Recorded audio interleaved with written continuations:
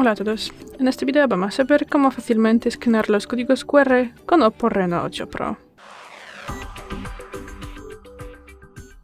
Bueno, pues para esto podemos por ejemplo abrir aquí el centro de control deslizamos el dedo dos veces y luego buscamos aquí código QR. Simplemente activamos aquí esta opción, luego pulsamos aquí este icono, abrimos la cámara, tendremos que dar el permiso y podemos uh, leer los códigos QR aquí. También podemos realizarlo si ya tenemos un widget de Google añadido a la pantalla y para esto nos sirve aquí este botón.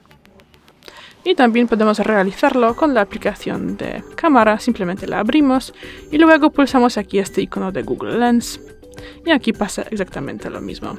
Y ya, es todo. muchas gracias por ver el vídeo, déjanos un like y suscríbenos. Hasta luego.